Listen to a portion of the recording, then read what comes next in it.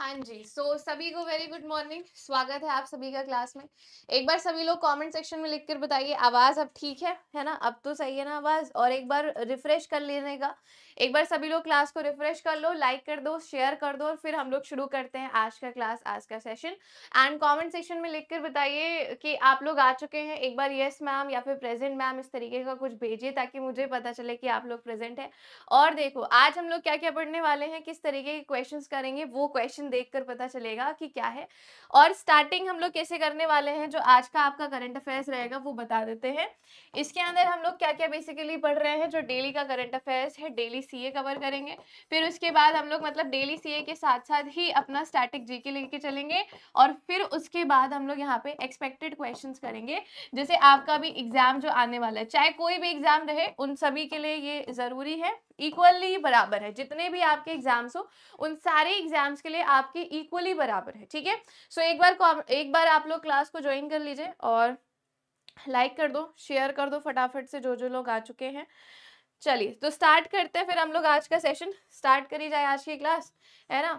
और क्लास को शुरू करने से पहले एक चीज़ मैं बता देती हूँ कि जब भी आप क्लास में एंटर करें, पहली बात तो ये बता दें कि पहली बार आ रहे हैं क्लास में तो एटलीस्ट तीन दिन क्लास आपको लगातार लेनी है ताकि आपको चीज़ें जो है वो समझ में आने लग जाए। करंट अफेयर्स इतनी जल्दी जो है वो हमारी आदत नहीं बनती कि हम लोग उसे पढ़ते चले। तो तीन दिन लगातार एटलीस्ट आपको लेना है या फिर एक हफ़्ते लेना है और फिर उसके बाद हम लोग फिर उसके बाद आपको आदत बनेगी। फिर साथ ही साथ हमें इस तरीके से पढ़ाई करनी है ताकि हम जो भी पढ़ें वो उसी वक्त हमें याद हो जाए और दोबारा से हमें उसमें समय देने की कोशिश ना करनी पड़े, है ना? तो हम लोग क्या करते हैं, क्लास में ही आपको यहाँ पे प्रैक्टिस करवा देते हैं। एक मतलब कहते हैं ना, जुनून के साथ, हौसले के साथ। अब अगर हम कोई एग्ज़ाम दे रहे हैं, अगर मान लीजिए फेल हो जाते हैं उस एग्ज़ाम में तो हमें एक्सपीरियंस मिलता है, अनुभव मिलता है और फिर अगला एग्ज़ाम हम बहुत अच्छी तरीके से देते हैं और फिर हम पास हो जाते हैं।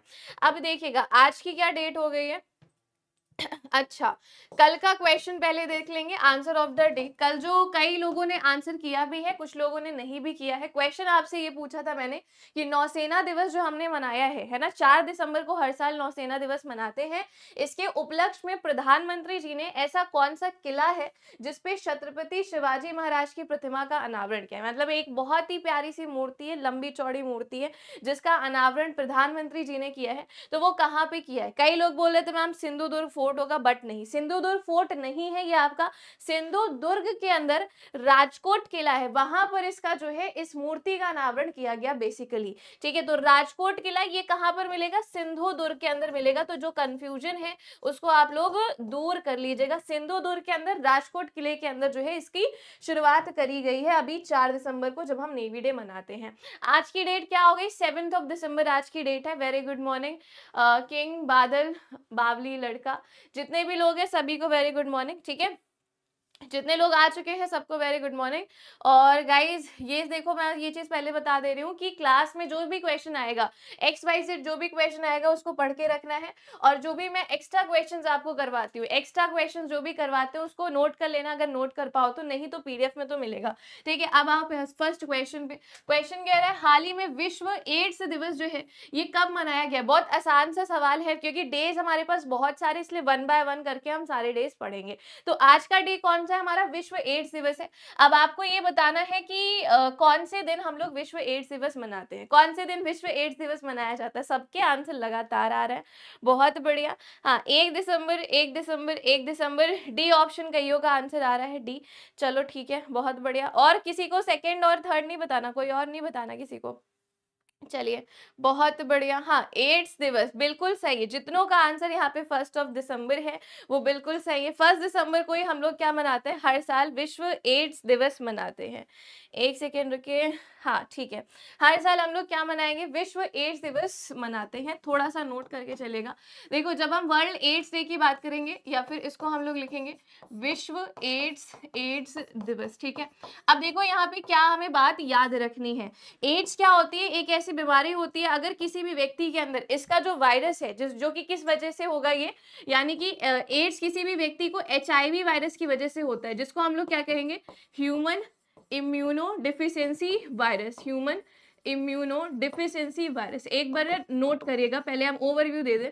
है ना? तो एक ये वायरस अगर किसी भी व्यक्ति के शरीर में एक बार एंटर कर गया तो दोबारा उसको निकालना एकदम असंभव है ना? यानी कि अगर किसी को एड्स हो गया तो बाद में उसकी दवा चलती रहेगी, लेकिन खत्म नहीं होती वो बीमारी चल रही अब देखिएगा, ये जो वायरस है, ये क्या करता है? व्यक्ति के इम्यूनिटी सिस्टम को डैमेज करेगा। व्यक्ति के इम्यूनिटी सिस्टम इम्यूनिटी सिस्टम को डैमेज करेगा, जो इसके वाइट ब्लड सेल्स हैं, उसको डैमेज करता है। और ऐसे उस व्यक्ति के पूरे शरीर में एड्स जो है वो हो जाता है। अब देखिए, इसी को मनाते हैं, इसी को इसी को लेके हर व्यक्ति को हमें क्या करना है? जागरूक करना है। और जागरूक करने के लिए डब्ल्यूएचओ ने, यानी वर्ल्ड हेल्थ ऑर्गेनाइजेशन ने 1988 में पहली बार विश्व एड्स दिवस मनाया। विश्व एड्स दिवस मनाया। मैं बहुत, जितने भी दिन में बीमारियों से रिलेटेड जो भी डेज़ पढ़ाते उसे बताती थी कि अभी तक एड्स डे नहीं आया है, क्योंकि साल के अंत में आता है और अब आ चुका है विश्व एड्स डे ठीक है? 2022 की क्या थीम रखी गई थी? वो एक बार सबको बताना है 2022 की थीम क्या थी? और साथ ही साथ 2023 की थीम क्या थी? ये दोनों आंसर करिए। अभी की थीम यानी इस बार की थीम क्या रखी गई है? और इससे पहले की थीम क्या थी? अगर हम इस साल की बात करते हैं तो थीम है आपकी लेट्स कम्युनिटीज रूल, है ना? लेट्स कम्युनिटीज रूल ये इसका हो जाएगा आज की थीम यानी इस बार की थीम 2022 की थीम है इक्वलाइज यानी कि सारी चीज़ें हर किसी के लिए समान होनी चाहिए, बराबर होनी चाहिए। ये नहीं कि जो व्यक्ति स्पेशल नहीं है, जिसको एड्स नहीं हुआ है, उसको एक अलग फ़ायदे मिल रहा है और जिसको एड्स हुआ है, उसके हम लोग, उसके साथ हम लोग बहुत बुरा व्यवहार कर रहे हैं तो ऐसे नहीं करना है, ठीक है? अगला, दो दिसंबर को हम लोग क्या मनाते हैं? आपका राष्ट्रीय प्रदूषण प्रदूषण नियंत्रण दिवस, राष्ट्रीय प्रदूषण नियंत्रण दिवस, ठीक है? नियंत्रण दिवस। इस दिन आपका सेलिब्रेट किया जाता है। बाकी मैंने ये भी बताया आपको, चार दिसंबर को हम लोग क्या मनाते हैं? आपका नौसेना दिवस, भारतीय नौसेना दिवस। भारतीय नौसेना दिवस इस दिन मनाएँगे। तीन दिसंबर को हम लोग मनाते हैं विश्व विकलांगता दिवस। विश्व विकलांगता दिवस। विकलांगता विकलांगता दिवस इस दिन मनाया जाता है। और हम लोग दो दिसंबर को एक और दिवस मनाते हैं। कौन सा? दो दिसंबर दिसंबर को एक और दिवस मनाते हैं। इसका मतलब हो जाएगा कंप्यूटर साक्षरता दिवस। ठीक है कौन सा है? कंप्यूटर साक्षरता दिवस। कंप्यूटर साक्षरता दिवस, यानी कि कंप्यूटर लिटरेसी डे, ये भी हम लोग सेलिब्रेट करते हैं। अब इसका आंसर क्या बनेगा भाई? कौन से दिन हम लोग ये वाला दिवस मना रहे हैं? डी ऑप्शन यहाँ पर सही है, यानी एक दिसंबर को हम लोग हर साल विश्व एड्स दिवस के तौर पर मनाते हैं। याद हो गया ना सभी को? हाँ बिल्कुल सही। दो दिसंबर को हम लोग क्या मनाएँगे? राष्ट्रीय प्रदूषण नियंत्रण दिवस भी मनाते हैं, अंतरराष्ट्रीय गुलामी उन्मूलन दिवस भी मनाते हैं और कंप्यूटर साक्षरता दिवस भी मनाते हैं दो दिसंबर को। तो तीन तीन डेज़ हो गए, फिर उसके बाद चार दिसंबर को हम लोग नौसेना दिवस मनाएँगे। तीन दिसंबर को हम लोग विश्व विकलांगता दिवस मनाते हैं। हर किसी व्यक्ति को बताते हैं कि हाँ उनको भी वो भी हमारे तरह समान ही होते हैं। और एक दिसंबर को हम लोग लास्ट में क्या कर रहे हैं? यहाँ पे एड्स दिवस मना रहे हैं। एक बार रिवाइज करिएगा कि एच वायरस की वजह से किसी भी व्यक्ति को एड्स हो जाता है। एड्स का फुल फॉर्म फटाफट से लिखकर बताओ, है ना? एड्स का फुल फॉर्म क्या होगा?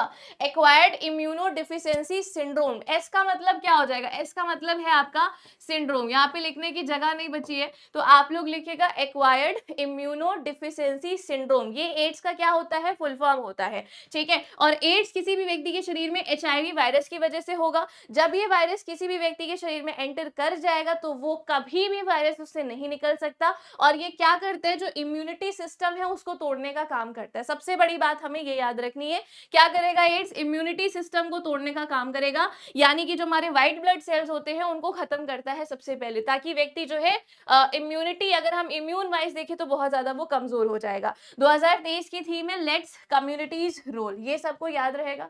है ना? अगले क्वेश्चन पे आते हैं। हाल ही में समृद्धि कॉन्क्लेव नामक डीप टेक स्टार्टअप प्रोत्साहन अभियान कहाँ पर शुरू हुआ? ये एक दिन मैंने आपको पढ़ाया था बट इसकी लैंग्वेज अलग थी। ठीक है? लेकिन कुछ और चीज़ बताई थी। आज ये आपको बताना है कि कौन से आईआईटी के साथ जो है समझौता किया गया और इसको शुरू किया गया। तो देखो, ये कह रहा है कि where has the deep tech startup promotion campaign name Samriddhi conclave been starter तो समृद्धि कॉन्क्लेव कहाँ पर शुरू किया गया? एक बार आंसर सभी लोग करिएगा। है ना? समृद्धि समृद्धि कॉन्क्लेव की शुरुआत कहाँ पर करी गई और क्यों करी गई? समृद्धि कॉन्क्लेव की शुरुआत जो है करी गई है, लेकिन क्यों करी गई? ठीक है, क्यों करी गई? और इसमें क्या? ये एक स्टार्टअप है, ठीक है, एक तरीके का स्टार्टअप है। याद करके आंसर बताओ। आईआईटी दिल्ली नहीं है यार, हर चीज़ में आईआईटी दिल्ली क्यों लगाना? आईआईटी रोपड़ के साथ जो है समझौता किया है। अब देखो, समृद्धि कॉन्क्लेव का उद्घाटन किसने किया था? मैंने ये चीज़ बताया, उद्घाटन जो है बनवारी लाल पुरोहित ने किया है। बनवारी लाल पुरोहित, ये कौन है? एक बार कॉमेंट सेक्शन में आंसर करिएगा। ठीक है बनवारी लाल पुरोहित, कौन से राज्य के राज्यपाल है? कौन से राज्य के राज्यपाल है? कॉमेंट सेक्शन में आंसर करिएगा सभी के सभी।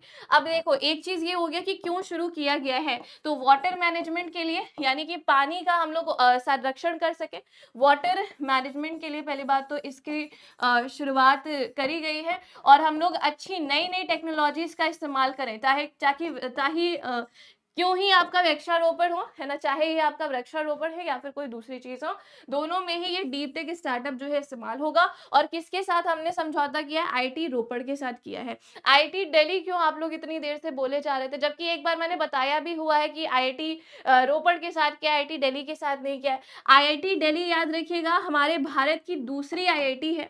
ठीक है, हमारे भारत का दूसरी आईआईटी है, जिसने बोला है कि हम अपनी एक ब्रांच अबू धाबी के अंदर जो है वो खोलने वाले हैं। और भारत की पहली आईआईटी पहली आईआईटी जो कि दूसरे देश में अपनी ब्रांच ओपन कर रही है, उसका नाम है तंजानिया में खैर ओपन कर रही है।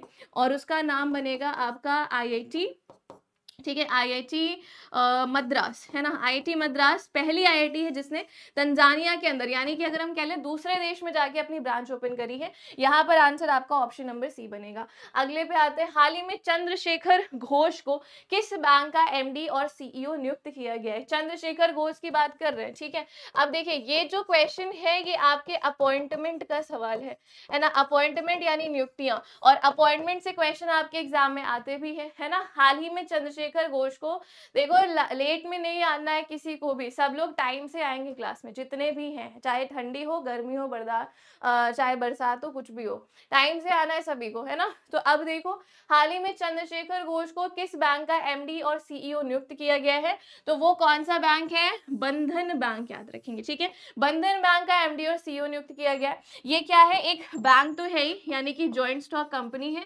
joint stock joint stock company है। ठीक है? और पब्लिक सेक्टर बैंक है आपका। कैसा बैंक है? पब्लिक सेक्टर बैंक है। यानी इस बैंक का जो आपका ज़्यादा से ज़्यादा शेयर किसके पास है? गवर्नमेंट के पास है। इसलिए पब्लिक सेक्टर बैंक हो जाएगा आपका। इसकी स्थापना कब करी गई है? ठीक है? इसकी जो स्थापना है, ये वर्ष 2015 में करी गई है। और एक और चीज़ ध्यान रखिएगा, जो हेडक्वार्टर मिलेगा, कोलकाता में है। ठीक है? हेडक्वार्टर कहाँ पर है बंदर बैंक का? कोलकाता में मिलेगा। स्थापना 2015 में हुई है, यानी बहुत पुराना बैंक नहीं है जो ये आपका शुरू हुआ हो। अभी ही जस्ट हुआ है ज्वाइंट स्टॉक कंपनी है। बैंक का काम क्या होता है? लोन लेना और लोन देना और साथ ही साथ सेविंग्स मतलब लोगों का पैसा जो है अपने यहाँ सेव करके रखना, बचा के रखना डिपॉजिट करना। हाल ही में भारत के चौरासीवे चेस ग्रैंड मास्टर कौन बनी है? देखिए, अभी तक आपने देखा होगा कि इक्यासीवे, बयासी, तिरासी चाहे विपुल प्रणीत हो, चाहे सयांतन दास हो, या फिर अभी हमारे आदित्य सामंत ही क्यों ना हो। ठीक है, ये सारे सारे कौन है? मेल हैं। लेकिन अभी क्या हुआ है कि इतने दिनों के बाद भारत की तीसरी ऐसी महिला है जो कि आपकी ग्रैंड मास्टर बनी है। तो एट्टी ग्रैंड मास्टर बनी है। एट्टी फोर्थ ग्रैंड मास्टर बनी है। देखो, आपसे कभी कभी एग्ज़ाम में ये भी पूछ लेता है कि बताइए, ये भारत के कौन से राज्य की है? ये कौन से वर्ष की है? यानी कितने साल की एज में इन्होंने यह टाइटल जीता हुआ है? ये दोनों चीज़ें। ओके, चिंटू, जुल्फी, सिंटू अच्छा चिंटू, सिंटू दोनों आए हैं क्लास में। स्काई चकर वेरी गुड मॉर्निंग। देखो, यहाँ पे हम क्या बात कर रहे हैं, पहले ये समझिएगा। ग्रैंड मास्टर किससे रिलेटेड होता है? चेस से। ग्रैंड मास्टर किससे रिलेटेड होता है? ये आपका चेस यानी कि शतरंज से रिलेटेड होता है। ठीक है अगर हम भारत में बात करते हैं अभी रिसेंटली जिनको बनाया गया है वो है वैशाली रमेश बाबू। ठीक है आर प्रज्ञानंद का नाम आपने सुना होगा ना? आर प्रज्ञानंद प्रज्ञा नंद जो है ये आपके आ, यह कौन है? ये कौन है? एक बार कमेंट सेक्शन में बताइए। ये भी ग्रैंड मास्टर रह चुके हैं और यह इनकी बहन है है ना? ये इनकी कौन है? ये इनकी बहन है। तो ऐसे हमें ध्यान रखना है। ओके, चलिए, बहुत बढ़िया। बफर कर रहा है तो एक बार बताइए, बफर कर रहा है। ये भारत के तमिलनाडु राज्य की रहने वाली है, ठीक है?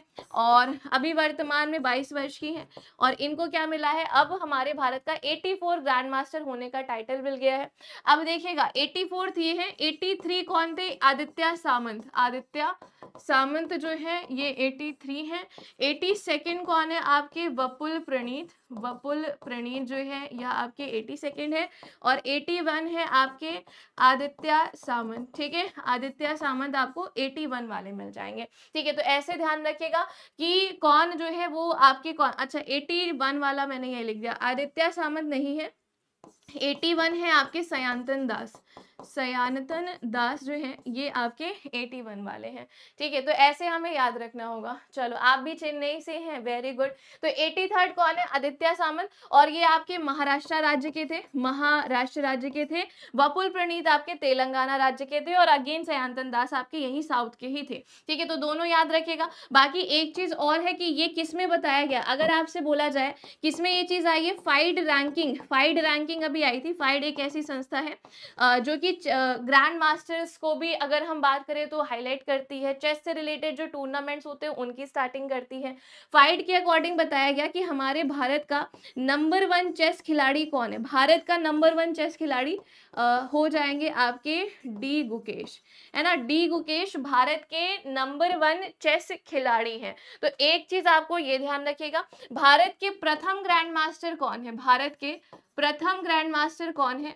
विश्वनाथन आनंद, है ना? विश्वनाथन आनंद। और डी गुकेश ने इन्हीं को ही हराया है। बहुत सालों बाद ऐसा हुआ है कि किसी ने विश्वनाथन आनंद को हराया और भारत का नंबर वन चेस प्लेयर बन गया है तो डी गुकेश है। अगर हम पूरे विश्व की बात करते हैं, देखो, जगह ही नहीं बच्चे लिखने की। अगर हम पूरे विश्व की बात करेंगे तो विश्व का जो नंबर वन खिलाड़ी है है ना? पूरे विश्व का जो नंबर वन खिलाड़ी है, उसका नाम है डिंग लिरेन, जो कि चेस से ही जुड़ा हुआ है। तो world number one champion champion कौन है? डिंग लेरेन, जो कि चाइना के हैं, और भारत के नंबर वन चैंपियन कौन है? आपके डी गुकेश हैं। खैर, अगर मैं आपसे ये बोलूँ, भारत के जो प्रथम ग्रैंड मास्टर है, यानी कि विश्वनाथन आनंद, ये अभी क्या कर रहे हैं? तो ये आपके फाइड के उपाध्यक्ष हैं। वर्तमान में फाइड के उपाध्यक्ष के पद के तौर पे यह काम कर रहे हैं। सबको याद रखना है। अब क्लियर होगी बात सभी को? चलिए, बहुत बढ़िया। आंसर यहाँ पे ऑप्शन नंबर सी है, वैशाली रमेश बाबू, जो कि इनकी बहन है। अच्छा नेक्स्ट स्लाइड पर मैंने आपको लाइन से सारे ग्रैंड मास्टर्स लगा दिए, एक बार पढ़ लीजिएगा, और ये मैंने लिख भी दिया है खुद से। अगले क्वेश्चन पे आते हैं। हाल ही में दुनिया के पहले पोर्टेबल हॉस्पिटल का उद्घाटन कहाँ पर किया गया? दुनिया का पहला जो पोर्टेबल हॉस्पिटल है है ना? उसका उद्घाटन कहाँ पर किया गया? ओके कॉमेंट सेक्शन में बताओ। सब लोग। दुनिया का पहला जो पोर्टेबल हॉस्पिटल है उसका उद्घाटन कहाँ पर हुआ है? ठीक है ठीक है। आ, बहुत बढ़िया बहुत बढ़िया। क्या बनेगा? पोर्टेबल हॉस्पिटल का मतलब समझ रहे हैं? मान लीजिए आपके सामने की कोई व्यक्ति है जिसका एक्सीडेंट हुआ है या फिर किसी की तबीयत खराब है, बहुत ज़्यादा सीरियस तबीयत खराब है तो इस हॉस्पिटल को आप कहीं भी और कहीं भी ले जा सकते हो, है ना? कहीं भी और कभी भी जो है, वह ले जा सकते हैं। ठीक है तो इसीलिए हम लोग कह रहे हैं पोर्टेबल हॉस्पिटल ठीक है? और इस पोर्टेबल हॉस्पिटल का नाम है मैत्री एड क्यूब क्या बनेगा? मैत्री एड क्यूब जो है, इस पोर्टेबल हॉस्पिटल का नाम है, ये ध्यान रखें। आंसर क्या बनेगा? Ladakh, Gurgaon, Bengaluru none of these ये बनेगा यहाँ पे ये। गुड़गांव के अंदर अभी हाल ही में भारत का पहला पोर्टेबल हॉस्पिटल की शुरुआत करी गई है। ये क्या एक छोटा सा मतलब अगर हम कहें, सामान एक बॉक्स टाइप का है, जिसको एक जगह से दूसरी जगह तक ले जा सकते हैं। और इसमें जितनी भी इंपॉर्टेंट मशीन होती हैं, जिससे किसी को चेकअप करना होता है, जितनी भी इंपॉर्टेंट दवाइयाँ होती हैं, वो इस क्यूब के अंदर आपको मिल जाएँगी। क्यूब का नाम याद रखिएगा Maitri aid cube Maitri aid cube सबको याद रखना है ये चीज़, ठीक है? कैसे मैम कैसे मैम? अरे बिल्कुल एक क्यूब है है ना? छोटा सा क्यूब है, बहुत बड़ा नहीं है, बट हाँ थोड़ा बहुत तो क्यूब है, जितनी बड़ी ये आपको स्क्रीन दिख रही है, उतना बड़ा क्यूब है। और उस क्यूब को एक जगह से दूसरी जगह बड़े आराम से ले जा सकते हैं, मान लीजिए किसी की तबीयत खराब है तो उसके अंदर सामान रख के कोई लेके जा सकता है, ठीक है? अगला क्वेश्चन हाल ही में कौन सा देश सर्वाधिक वोट के साथ अंतरराष्ट्रीय समुद्री संगठन के लिए निर्वाचित हुआ है? अंतरराष्ट्रीय समुद्री संगठन के लिए यानी कि इसमें आ, एंटर करने के लिए कौन आया? कमेंट सेक्शन में बताओ। इसको हम लोग आईएमओ के तरीके से भी जानते हैं। यूनाइटेड नेशंस की एक एजेंसी है या फिर हम कहें यूनाइटेड नेशंस के अंतर्गत ही ये काम करती है और ये शिपिंग को मैनेज करती है। यानी कि पूरे विश्व स्तर पर शिपिंग को मैनेज करेगा। शिपिंग का प्रबंधन करने का ये काम करेगा ये संस्था। ठीक है? एक बार सभी लोग कमेंट सेक्शन में आंसर करेंगे। फटाफट से बताओ। जल्दी से। हाँ अब किसी को भरोसा ही नहीं हो रहा कि पोर्टेबल हॉस्पिटल भी हो सकता है ना? हो सकता है, बिल्कुल मैंने आपको एक बार दिखाया तो था, लेकिन अभी नहीं दिखाया, बस पिक्चर लगाने का एक्चुअली आज टाइम था नहीं नहीं तो हम पिक्चर भी पूरा लगा देते हैं ना? नहीं तो पिक्चर भी लगा देते हैं। ओके, फटाफट से बताओ ए बी सी डी क्या बनेगा? यानी कि सबसे ज़्यादा वोट्स जो है, अभी हाल ही में कौन से देश को मिले हैं? इंटरनेशनल मेरिटाइम ऑर्गेनाइजेशन में आने के लिए। तो देखिए शिपिंग का प्रबंधन करता है आईएमओ ये यूनाइटेड नेशंस की एक बहुत ही खास एजेंसी हम कह सकते हैं ना संस्थानी एजेंसी कहेंगे।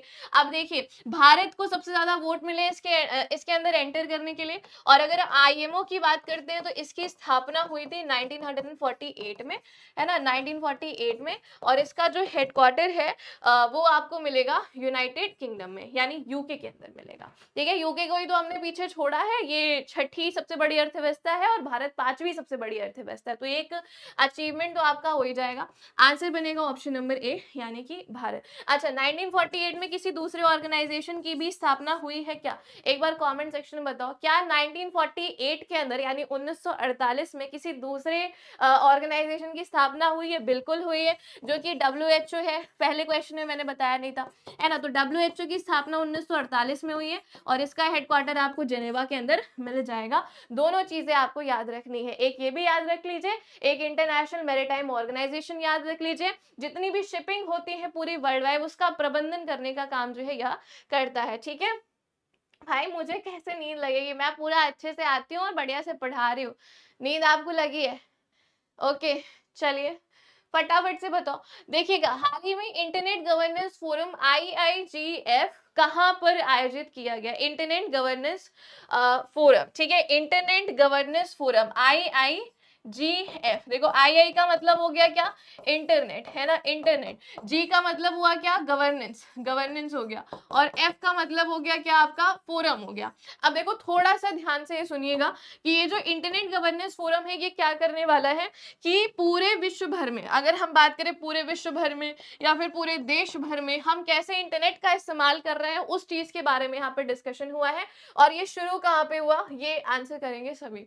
अब यहाँ तो पोल दे नहीं सकते, नहीं तो हम पोल यहाँ पर भी दे देते। तो नई दिल्ली के अंदर जो है इसकी शुरुआत करी गई है, जिसमें कई सारे देशों ने भी भाग लिया है, ठीक है? देशों ने भी भाग लिया है। अभी देखो, एक हमारी रिपोर्ट आई थी भारत में, जिसका नाम है डिजिटल डिवाइड जिसमें बताया गया था कि भाई कौन सा राज्य है, जहाँ पर सबसे कम इंटरनेट इस्तेमाल किया जाता है। तो बिहार में जो है, लोग बहुत ही ज़्यादा, अभी उतना ज़्यादा लोग आगे नहीं बढ़े हैं, उतना इंटरनेट नहीं इस्तेमाल कर रहे हैं। और बिहार में लोगों में भी हमें ध्यान रखना है, महिलाएँ तो बिल्कुल ही ना के बराबर जो है फ़ोन वो इस्तेमाल कर पा रही है। और सबसे ज़्यादा कहाँ पर हो रहा है? गोवा और महाराष्ट्र में, ठीक है? सबसे ज़्यादा कहाँ पर हो रहा है भाई? गोवा और महाराष्ट्र में सबसे ज़्यादा इंटरनेट का इस्तेमाल किया जा रहा है। अगले क्वेश्चन पे आते हैं।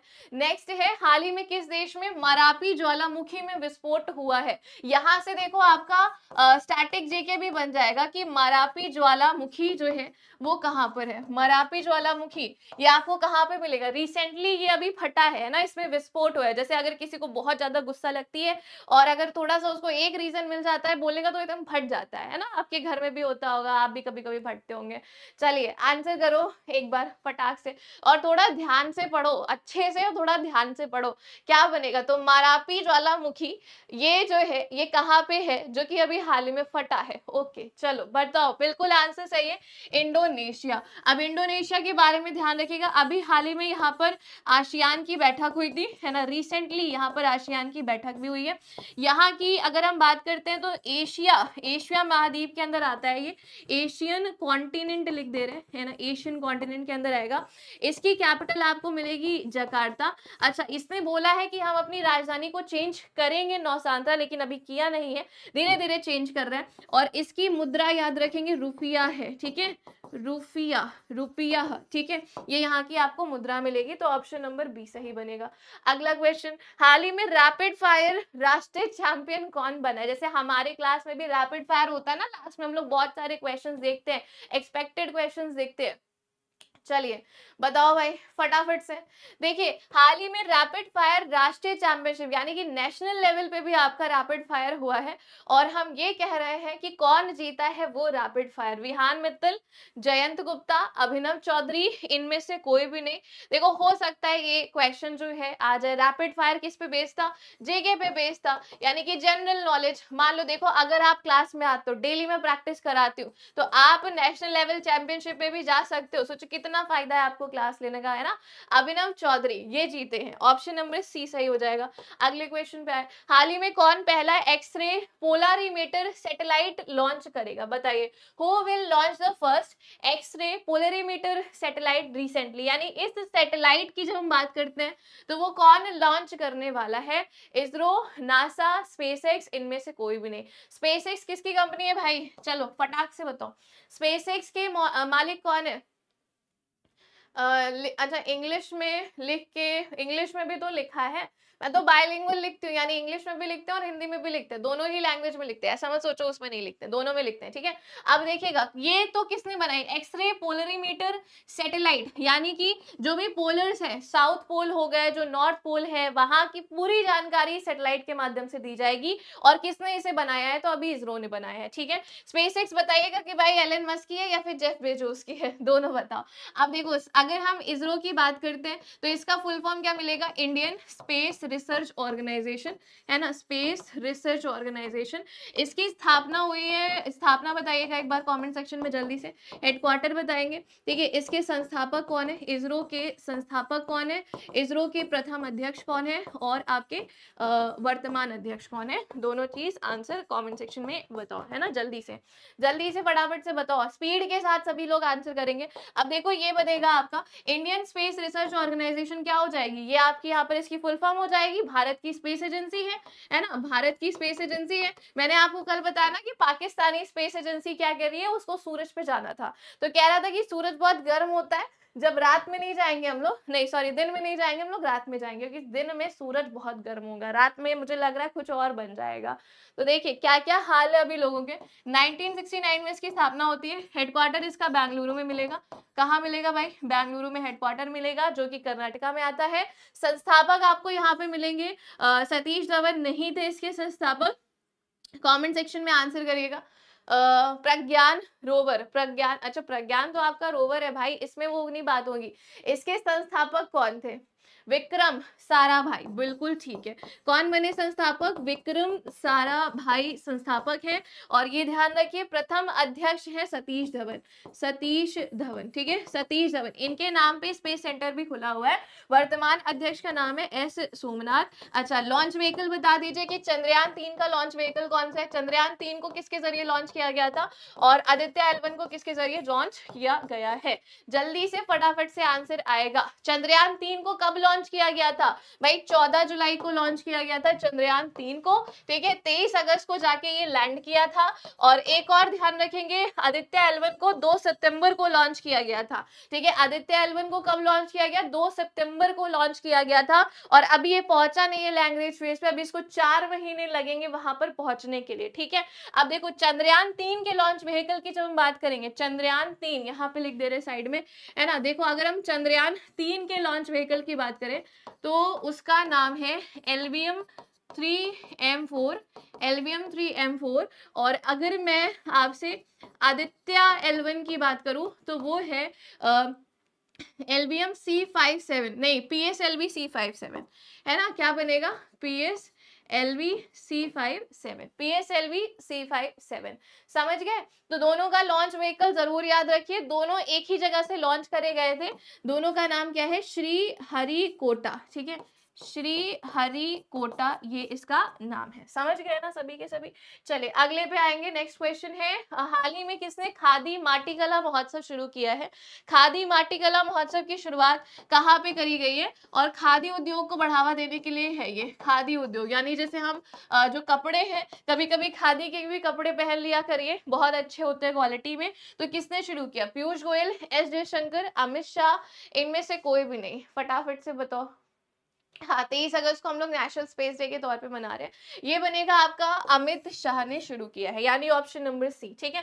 देखिए, पीयूष गोयल कौन है हमारे भारत के? वाणिज्य मंत्री, यानी कि कॉमर्स मिनिस्टर ठीक है, ये कौन है हमारे? कॉमर्स मिनिस्टर है, ठीक है, भारत के। एस जयशंकर हमारे भारत के विदेश मंत्री हैं, यानी external affairs external affairs minister है। अमित शाह हमारे भारत के गृह मंत्री हैं, ठीक है, गृह मंत्री हैं। अभी इन्होंने रिसेंटली हाल ही में गुजरात के अंदर आपको मिलेगा एक सोलंगपुर मंदिर, है ना? सोलंगपुर के अंदर एक मंदिर है, जहाँ पर इन्होंने अभी तक की सबसे बड़ी हनुमान जी की प्रतिमा का अनावरण किया है। ठीक है, अभी तक की सबसे बड़ी हनुमान जी की प्रतिमा का अनावरण अमित शाह के द्वारा किया गया गया है। अगला क्वेश्चन है, हाल ही में किस राज्य सरकार ने रवि गुप्ता को नया डीजीपी नियुक्त किया है? ये भी इंपॉर्टेंट क्वेश्चन है है ना? ये भी नियुक्तियों का सवाल है एग्ज़ाम में आता है। तो एक बार बताओ, तेलंगाना के जो नए डीजीपी है सॉरी आंसर बता दिया मैंने गलती से। तो यहाँ पे क्या बनेगा? तेलंगाना बन जाएगा कि किस राज्य सरकार के डीजीपी कौन बने हैं? आपके रवि गुप्ता, है ना? रवि गुप्ता, और यह कौन से राज्य के हैं? तेलंगाना राज्य के हैं। ठीक है? समझ गए? हाँ बहुत हँसी आ रही है, हरुण। अब देखो, तेलंगाना सबको याद रखना है। तेलंगाना की राज्य की स्थापना कब हुई थी? 2 जून 2014 ठीक है? ध्यान रखिए 2 जून 2014 को हुई है। और एक और चीज़ हमें ये समझ के रखनी है कि भाई 2 जून 2014 के बाद पहली बार ऐसी, ऐसा हुआ, यहाँ पे बीआरएस पार्टी थी। पहली बार ऐसा हुआ है कि उनको हटा के अब क्या आ गई? कांग्रेस पार्टी। यानी कि तेलंगाना में जो इलेक्शन हुए थे, उसमें कांग्रेस जीती है। गुजरात के अंदर आपकी बीजेपी जीती है, महाराष्ट्र के अंदर बीजेपी जीती है और छत्तीसगढ़ के अंदर भी बीजेपी ही जीती है। आंसर इसका बनेगा ऑप्शन नंबर सी, यानी कि तेलंगाना। तेलंगाना भारत का पहला राज्य है, जहाँ पर हंड्रेड परसेंट ओडीएफ प्लस गाँव है। ओडीएफ प्लस गाँव, यानी खुले में शौच मुक्त। ओडीएफ प्लस विलेज लिख देंगे। और यहाँ पे हंड्रेड परसेंट जितने भी लोग यहाँ पे तेलंगाना के अंदर निवास कर रहे हैं, उनके पास क्या है? जन धन अकाउंट जनधन जनधन योजना के तहत इन्होंने अपना सेविंग्स अकाउंट खुलवा के रखा है।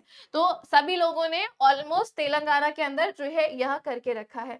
अगला क्वेश्चन हाल ही में आईसीएफआरई की पहली महिला महानिदेशक कौन है? अच्छा इस तरीके के जो क्वेश्चन होते हैं ना कि बताओ पहली महिला महानिदेशक कौन है? या फिर अगर कुछ और अगर भी आपसे पूछ रहा है। तो आपको ये सारे क्वेश्चन बिल्कुल पढ़ के रखने होते क्योंकि भारत में अभी रिसेंट में करंट में बहुत कुछ हुआ है, जो कि पहली महिला ही, पहला महिला जैसा क्वेश्चन है। ठीक है, अब देखिए आईसीएफ आर की पहली महिला महानिदेशक कौन बनी है? Kanchan Devi option number B है ना? कौन बनी है? कंचन देवी बनी है? बी ऑप्शन यहाँ पर सही आंसर हो गया। ठीक है चलिए, अगले क्वेश्चन पे आते हैं। नेक्स्ट सवाल, हाल ही में किसे मिमी जॉर्ज पुरस्कार मिला है? मिमी जॉर्ज पुरस्कार से किसको सम्मानित किया गया है? राजेश उन्नी कृष्णन को तो अभी लाइफ टाइम अचीवमेंट अवार्ड दिया गया था, है ना? लाइफ टाइम अचीवमेंट अवार्ड दिया गया है। यहाँ पर बनेगा आपका मुरली श्री शंकर मुरली श्री शंकर, ठीक है? तो ये ध्यान रखेंगे। अगला क्वेश्चन आ रहा है, हाल ही में भारत ने किस देश से कच्चे तेल का आयात फिर से शुरू कर दिया है? यानी क्रूड ऑयल खरीदना भारत ने कौन से देश से फिर से शुरू कर दिया है, एक बार आंसर करेंगे। किस देश के साथ शुरू किया? वेनेजुएला के साथ जो है वो शुरू कर दिया है और बाकी अभी बंद कर दिया था। बाकी रशिया से हम लोग क्रूड ऑयल जो है ऑलमोस्ट खरीदते ही खरीदते हैं। और रशिया से हमने हथियार भी सबसे ज़्यादा मंगा के रखे अभी एक रिपोर्ट आई थी जिसमें बताया गया था कि भारत हथियार सबसे ज़्यादा कौन से देश से लेता है? तो वो रशिया से ही खरीदता है क्रूड ऑयल। और बाकी हम रिफाइंड ऑयल किसको भेजते हैं? रिफाइंड ऑयल जो है, भारत किसको एक्सपोर्ट करता है? वो हो गया आपका यूरोप, है ना? यूरोप को हम लोग रिफाइंड ऑयल एक्सपोर्ट जो है वह करते हैं। इसका आंसर बनेगा ऑप्शन नंबर सी, यानी कि आपका वेनेजुएला। क्लियर हो गया? एक बार नोट कर लीजिएगा। यहाँ तक सबको समझ में आ गया एकदम अच्छे से, है ना? आ ही गया होगा वैसे, मैंने समझाया तो क्यों नहीं आएगा समझ? ठीक है, चलिए, बहुत बढ़िया। इतना ओके है? है ना? इतना ओके है ना सबको? ठीक है, बहुत बढ़िया। बहुत बढ़िया बहुत बढ़िया। आंसर सबका सही है खैर आपका है ना? जितने लोग हैं सबका ही आंसर सही है। अच्छा वेनेजुएला से याद रखिएगा जब भी कोई देश आता है ना तो हम क्लास में देश के साथ साथ वो कौन से कॉन्टिनेंट में है वो देखते हैं। आ, क्या उसकी राजधानी है वो देखते हैं और क्या उसकी मुद्रा है वो देखते हैं। तो वेनेजुएला की बात करते हैं ये आपको साउथ अमेरिकन कॉन्टिनेंट में मिलेगा। कहाँ पर? South America South America continent के अंदर मिल जाएगा। और वेनेजुएला की ही जब हम बात करेंगे तो इसकी जो आपकी, अगर हम देखें जो आपकी राजधानी है वो क्या है? काराकस है। काराकस आपको राजधानी मिल जाएगी। ठीक है? मुद्रा आप लोग कमेंट सेक्शन में बताओ वेनेजुएला की वर्तमान में मुद्रा क्या है? ठीक है? वेनेजुएला की वर्तमान में मुद्रा बहुत ज़्यादा आसान है ना? कठिन नहीं है, आसान ही है। चलिए वेनेजुएला काराकस यहाँ पर इसकी वो बनेगी, यानी कि राजधानी। हाँ अब रैपिड फायर आपका शुरू होने वाला है। ऑलमोस्ट फिफ्टीन क्वेश्चन जो है हो चुके हैं और आगे हम लोग रैपिड फायर करने वाले हैं। देखेंगे कौन कितना आंसर कर रहा है कौन कैसे आंसर कर रहा है। बिल्कुल सही ऋतु का आंसर सही है बोलेवर ठीक है? तो बोलेवर भी नोट करिएगा ये यहाँ पर इसकी आ, मुद्रा चल रही है मुद्रा। अच्छा एक और क्वेश्चन है आज सोलह क्वेश्चन है। हाल ही में वार्षिक पुस्तक मेला पुस्तकायन का शुभारंभ। अच्छा ये तो मैंने पढ़ा दिया था नई दिल्ली के अंदर है। अब हम लोग रैपिड फायर शुरू करने जा रहे हैं जिसमें प्रधानमंत्री का क्वेश्चन है राष्ट्रपति का क्वेश्चन क्वेश्चन है वो सारे के सारे। हाँ आप इंग्लिश में, भाई इंग्लिश में लिखती तो हूँ और कितना लिख दू इंग्लिश में, है ना? अगर इंग्लिश में ही पूरा लिख देंगे तो हिंदी वालों को नहीं समझ में आएगा। यहाँ पे नाइन्टी परसेंट हिंदी बच्चे हैं और सिर्फ़ दस परसेंट इंग्लिश वाले हैं। तो दोनों को हमें बैलेंस बना के चलना है ना? ऐसा नहीं है कि सिर्फ़ इंग्लिश ही लिख दे और हिंदी वालों को कुछ ना मिले। अगला क्वेश्चन देखो आज पहला क्वेश्चन रैपिड फायर का और इसमें अपना स्कोर ज़रूर आप नोट करते हुए चलेगा कि आपका स्कोर कितना रहा। जितने भी हम क्वेश्चन करेंगे, जितना भी टाइम हमारे पास है तो उसमें आपको रैपिड फायर मिलेगा। और रैपिड फायर में आपको अपना स्कोर खुद नोट करके रखना है कि आपके कितने क्वेश्चन सही हुए, कितने गलत हुए हैं, ठीक है? चलो, पहला क्वेश्चन आंसर हाल ही में क्वारिकोस मित्सोताकिस किस देश के प्रधानमंत्री पद पे शपथ लेंगे? खैर, शपथ तो इन्होंने ले ली होगी। अब जरा बताओ, कौन से देश के अंतर्गत इनको अभी प्रधानमंत्री के तौर पे बनाया गया है? तुर्की, फिनलैंड, ग्रीस और इनमें से कोई भी नहीं। कौन सा देश है? ये बताना है। बस क्वेश्चन आएगा और जल्दी से आंसर करना है। वही हमारा रैपिड फायर होता है। ये बनेगा कौन सा ग्रीस बन जाएगा? ग्रीस के वर्तमान के प्रधानमंत्री के तौर पर अभी इन्हें चुना गया है। अगला, भारत के किस ज़िले में पहला कार्बन तटस्थ गाँव जो है वह बनाया गया है? भारत का पहला कार्बन तटस्थ गाँव। चलिए, एक बार कमेंट सेक्शन में आंसर करो। सभी के सभी। बताइएगा। देखिए तो कार्बन तटस्थ गाँव कौन सा है? पाली, जम्मू, कश्मीर में तो कार्बन मुक्त पंचायत थी। ठीक है, थाने महाराष्ट्र, बालासोर, उड़ीसा में ट्रेन एक्सीडेंट हुआ था। मोडेरा गुजरात में सोलर टेंपल है। तो आंसर थाने महाराष्ट्र बन जाएगा। ठीक है? अगला क्वेश्चन किसे पुणे में लोकमान्य तिलक राष्ट्रीय पुरस्कार दिया गया है? विजिबल तो है ना सारा, सबको?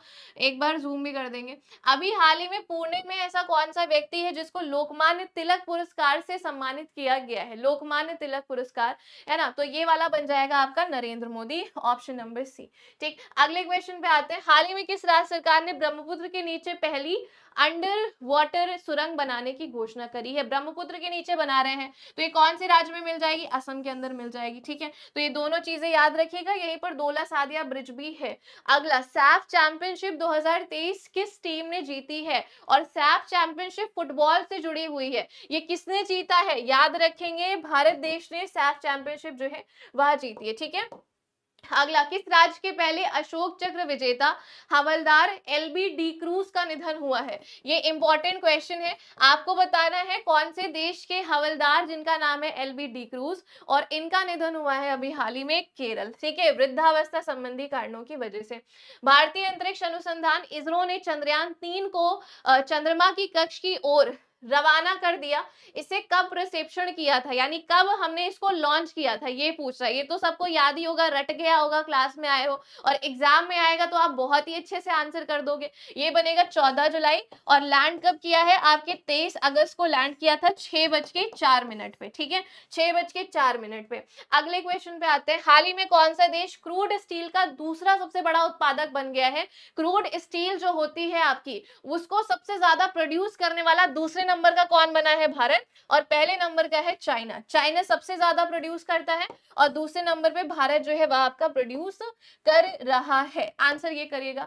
अभी हाल ही में ऐसे कौन से भारतीय जिनको यू का सीईओ बनाया गया यू का सीईओ अभी रिसेंटली किस व्यक्ति को बनाया गया है? सभी को पता होगा। अमित अग्रवाल को यू यानी जो हमारा आधार होता है है ना? उसका यहाँ पे सीईओ अमित अग्रवाल को बनाया गया है। लिंडा यागारिनो कौन है, ये तो आपको पता ही होगा, ये आपकी एक्स की सीईओ है, यानी कि ट्विटर की सीईओ है, अभी ये न्यूज़ में आई थी और पेपर में पूछी भी गई है।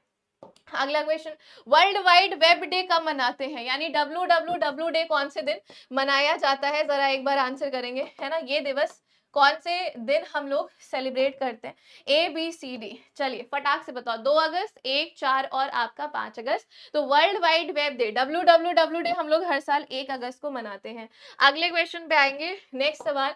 गणित का अंतरराष्ट्रीय दिवस कब मनाएँगे? इंटरनेशनल डे ऑफ़ मैथमेटिक्स ये कौन से दिन सेलिब्रेट किया जाता है? हर साल ग्यारह मार्च को हम सेलिब्रेट करते हैं, ठीक है? और हमारे भारत में कब गणित दिवस मनाया जाता है? एक बार इसको लिखकर बताना है, ठीक है? आपको बताना है। अगला क्वेश्चन और जरा फट एक मिनट एक मिनट यहाँ पर वो लिख दिया है मैंने, चौदह मार्च बनेगा, ठीक है? एक ही क्वेश्चन दो दो बार आया हुआ है, तभी ये हो गया। अगला क्वेश्चन अंतरराष्ट्रीय महिला दिवस की थीम क्या रखी गई है? अंतरराष्ट्रीय महिला दिवस बताइएगा, जो हर साल हम लोग 8 मार्च को मनाते हैं और हमारा राष्ट्रीय महिला दिवस हर साल 13 फरवरी को मनाया जाता है। आप जरा बताओ कि अंतरराष्ट्रीय महिला दिवस जो इस बार हमने मनाया, उसकी थीम क्या थी? Hashtag each for equal choose to challenge embrace equity press for progress तो ये इम्ब्रेस इक्विटी है ऑप्शन नंबर सी ठीक है? इम्ब्रेस इक्विटी आठ मार्च को हर साल हम लोग मनाते हैं, आपका कौन सा दिवस? ये वाला दिवस हम लोग मनाते हैं आपका अंतरराष्ट्रीय महिला दिवस। आ, किस राज्य ने 100 प्रतिशत खुले में शौच मुक्त ओडीएफ प्लस का दर्जा हासिल किया है? ओडीएफ प्लस का दर्जा अभी रिसेंटली किसने हासिल किया था? अभी तो जस्ट पढ़ाया है मैंने। ये वाला बनेगा मैथमेटिक्स मैथमेटिक्स चौदह मार्च है ठीक है? ग्यारह नहीं है चौदह है। ये बनेगा आपका कौन सा? अभी रिसेंटली किसको घोषित किया गया? तो, तो सिक्किम को किया गया। बाकी तेलंगाना तो पहला राज्य है जिसे घोषित किया गया। अगला प्लास्टिक उत्पाद बैग पर प्रतिबंध लगाने वाला दुनिया का पहला देश कौन सा है? जो सिंगल यूज़ प्लास्टिक होती है। वैसे तो हमारे भारत में हर एक हर छह महीने बाद हर पाँच महीने बाद पन्नियों पे बैन लग जाता है। लेकिन बैन लगने के कुछ महीनों बाद फिर से पन्निया में सामान जो है वो बिकने लगता सकता है। तो भारत में बैन लगना तो असंभव है, ठीक है? हमारे यहाँ तो बहुत पहले से लग रहा है, लेकिन अगर हम विश्व की बात करते हैं, जो सिंगल यूज़ प्लास्टिक है, वो प्लास्टिक जो हम एक ही बार इस्तेमाल कर सकते हैं, दूसरी बार नहीं तो उस पर बैन लगाया है अभी रिसेंटली न्यूजीलैंड ने, ठीक है? अगला क्वेश्चन विश्व चॉकलेट दिवस कब मनाते हैं? भाई चॉकलेट सुबह सुबह चॉकलेट सामने आ गई, भूख तो लगेगी, है ना? बट चॉकलेट क्या कभी, जैसे हमारे पास चॉकलेट है तो क्या हम कभी अकेले खा पाते हैं? नहीं, सामने कोई है तो उसको साथ में खिलाएँगे। तो तो सात में खिलाएँगे, यानी सात कौन सा हो गया? आपका सात जुलाई। सात जुलाई। जुलाई भी सातवां महीना होता है और सात अपने आप में सात है तो सात सात खाते हैं चॉकलेट। सात जुलाई, ऐसे याद रखना है आपको, ठीक है? चॉकलेट है। अगला क्वेश्चन ये देखो राष्ट्रीय पर्वतीय दिवस कौन सा दिन मनाया जाता है? राष्ट्रीय पर्वतीय दिवस, इसे हर साल एक अगस्त को मनाएँगे, ठीक है? अगले क्वेश्चन पे आएँगे। नेक्स्ट किस राज्य के मुख्यमंत्री ने ग्यारहवीं सदी के लिंगराज मंदिर के पुनर्विकास के लिए ईका मारा परियोजना? देखो, मंदिर है और जैसे मंदिर में कई सारी जगहें हैं जो टूट फूट गई हैं, पुरानी हो चुकी लोग नहीं आ जा पा रहे हैं वहाँ तो उसका डेवलपमेंट कराएँगे, विकास कराएँगे, ठीक है? और लिंगराज मंदिर मिलेगा आपको उड़ीसा राज्य के अंदर। लिंगराज मंदिर हो गया आपका और एक कोनारसूर मंदिर हो गया और एक जगन्नाथपुरी, जो भारत के चार धाम में से एक है। किस राज्य अथवा केंद्र शासित प्रदेश में मानसिक स्वास्थ्य, यानी जो दिमागी हालत आजकल सभी लोगों की बिगड़ी हुई है। उसको सही करने के लिए पहला चैटबॉट टेलीमानस किसने लॉन्च किया? बताइए, टेलीमानस किसके द्वारा लॉन्च किया गया है? ये बनेगा जम्मू और कश्मीर के उपराज्यपाल मनोज सिन्हा, ठीक है? अगला क्वेश्चन कौन से राज्य ने हाल ही में मेरा बिल, मेरा अधिकार लॉन्च किया है? यानी कि मान लीजिए आप कभी भी कोई सामान खरीदने जाते हैं तो आपको बिल मिलना ज़रूरी है। ये आपका अधिकार है कि बिल देगा दुकानदार तो ये है हरियाणा, ठीक है? Option number B Manohar Lal Khattar यहाँ के सीएम है। अगले पे आते हैं। संयुक्त राज्य अमेरिका ने मालदीव्स के कितने व्यक्तियों और कंपनियों पर प्रतिबंध लगाया था? ये करना है। और अभी मालदीव्स ने तो बोला है कि भाई हमारे यहाँ जो आप आ, अपने सैनिक यहाँ पे तैनात करें मतलब हमने वहाँ पे सैनिक तैनात करे थे तो उन्होंने बोला कि भाई ले जाओ इनको यहाँ से हमें ज़रूरत नहीं। तो हमने कोई कहा ठीक है हमें नहीं देने आपको सैनिक। बीस और उनतीस याद रखिएगा यहाँ पे ठीक है? अगले क्वेश्चन पे आते हैं। नेक्स्ट भारत और किस देश के बीच में कोची में अभ्यास सालविक्स का आयोजन किया गया है। सालविक्स जो है ये कहाँ पे शुरू किया गया? तो ये बनेगा आपका कोची में किया गया है ना? भारत और साल्विक्स अच्छा कौन से देश के बीच में होता है? साल्विक्स अमेरिका। देखो, दो याद रखेगा एक एक्सरसाइज होती है आपकी साल्विक्स, ठीक है? एक होती है आपकी सिमवेक्स जो कि ऐसे ही है, और एक होती है आपकी स्लाई नेक्स्ट ठीक है? तो इन तीनों में हम कंफ्यूज खा सकते हैं। आप भी, मैं भी, सभी लोग। अब देखिए, साल्विक्स एक्सरसाइज हम लोग अमेरिका के साथ करेंगे, यानी कि आपका यूएसए सिमवैक्स वाली हम लोग करेंगे सिंगापुर के साथ। किसके? सिंगापुर के साथ। और स्लाइनेक्स वाली हम कब करेंगे? श्रीलंका के साथ जो है यह एक्सरसाइज हम करेंगे, ठीक है? तो ये ध्यान रखिएगा, अमेरिका, ठीक है? क्या बनेगा? अमेरिका के साथ करेंगे। अगला क्वेश्चन नेक्स्ट भारत और किस देश के बीच सीरीज़ का निर्णायक तीसरा वनडे मैच तरोबा त्रिनिदाद खेला गया है? तो ये बनेगा वेस्ट इंडीज के साथ हमने खेला था, ठीक है? वेस्ट इंडीज के साथ। अगला क्वेश्चन बताइए। अमित शाह ने ऐसा कौन सा राज्य है जहाँ पर पहला सहकारिता संचालित सैनिक स्कूल की आधारशिला रखी? अब बताइएगा, अमित शाह फिर से आ गए आपके सामने और आपका अब क्या राय है इनके लिए कि इन्होंने जो सैनिक स्कूल की स्थापना करी है, कौन से राज्य में करी होगी? तो कॉमन सेंस लगा के बता दो, है ना? सैनिक स्कूल की स्थापना कहाँ करी होगी? गुजरात में करी होगी? बिल्कुल सही बात है ना? ऑप्शन नंबर बी अगले क्वेश्चन पे आते हैं नेक्स्ट किस वित्त वर्ष दो हज़ार में भारत का शीर्ष इलेक्ट्रॉनिक निर्यातक राज्य कौन सा राज्य बना है? जैसे इलेक्ट्रॉनिक इक्विपमेंट्स हो गए फ़ोन मतलब कोई भी चीज़ें बना रहे हैं तो उसको एक्सपोर्ट कौन कर रहा है? भारत का कौन सा राज्य है? जो ये सब चीज़ें बना के एक्सपोर्ट करेगा भाई तमिलनाडु। कहते हैं ना कि भाई साउथ वाले बड़े एजुकेटेड हैं, बड़े एजुकेटेड हैं वो।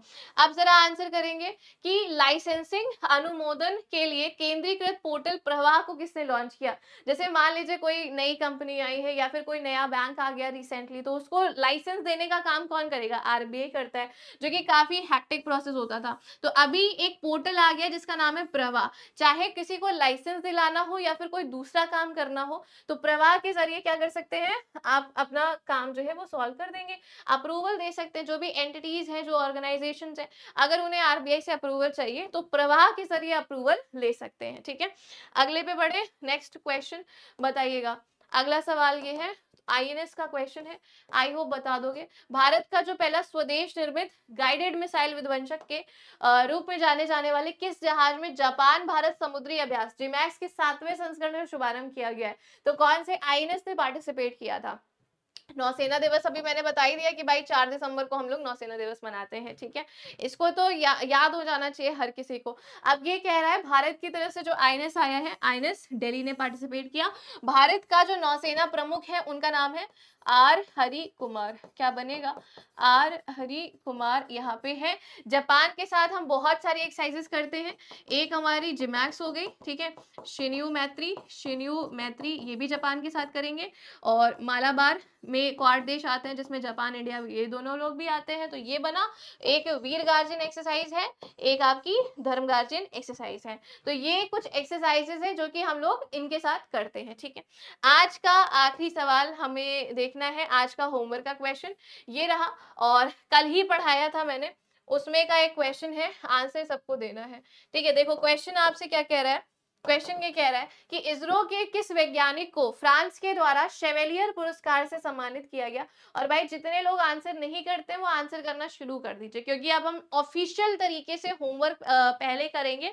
हर सेशन के ओवर होने के बाद, जैसे आज अगर सेशन ओवर हुआ है तो कल हम लोग क्या करने वाले कल ये क्वेश्चन सबसे पहले देखेंगे तो इससे आपको बहुत फ़ायदा मिलेगा। हाल ही में इसरो के कौन से ऐसे व्यक्ति हैं, यानी कि इसरो के एक साइंटिस्ट है, जिनको अभी फ्रांस गवर्नमेंट के द्वारा शेवेलियर अवार्ड दिया गया। वही अवार्ड जो पिछले साल अरुणा साईराम को दिया गया था, अब उनका नाम आपको बताना होगा कमेंट सेक्शन में। ठीक है क्लास कैसी लगी? ये भी बताइएगा, समझ में आया कि नहीं? वो भी आपको आंसर करना है। बाकी एप्लीकेशन को जाके आपको रेट करना है। ऑलरेडी बहुत सारे लोगों ने रेटिंग करी हुई है और पीडीएफ के लिए आपको टेलीग्राम चैनल ज्वाइन करना है करंट अफेयर्स का। ठीक है सर्च कर लीजिएगा ऐसे और अगर कोई डाउट है तो वो भी आप यहीं पर ही मैसेज करके पूछ भी सकते हो। ठीक है? वो भी यहाँ पे मैसेज करके आप पूछ सकते हैं। ठीक है? चलिए, बाकी आपको पता ही है कि हमारी जो एप्लीकेशन है वो कैसे आपको डाउनलोड करनी है प्ले स्टोर पे जाके आपको डाउनलोड कर लेना है। अगर कोई भी कोर्स आपको बाय करना है तो वो यहाँ से बाय कर सकते हैं। पहले तो डाउनलोड कर लीजिए प्ले स्टोर पे जाके, है ना? फिर उसके बाद क्या करेंगे, जैसे आपको रजिस्टर करना है, अगर आप पहली बार आपने डाउनलोड किया तो पहले तो रजिस्टर करना पड़ेगा। दूसरी बार किया रजिस्टर कर चुके हैं तो लॉग करना पड़ेगा। फिर आपको कोई कोर्स चाहिए तो पेड कोर्सेज में जाइए, वहाँ पे बाय करिए, फिर आपको पेमेंट कर देनी है, फिर वो कोर्स आपका, ठीक है? चलिए तो ये ध्यान रखिएगा, बाकी अब हम लोग नेक्स्ट सेशन में मिलने वाले हैं। होमवर्क का आंसर ज़रूर से ज़रूर सारे लोगों को देना है।